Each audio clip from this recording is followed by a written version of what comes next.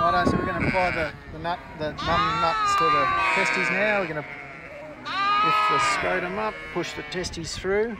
Now, every now and again, you'll get a bit of blowback.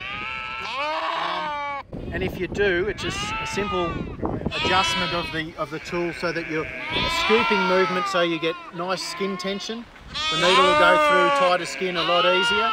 And once you've got that, it's just push in slowly like that, ring beautiful. What we're looking to do is just create a little bit of skin tension, um, just just so that the needle can inject in. See, that's it. Yeah, oh, you're so fast. Never, ha- don't even have a problem.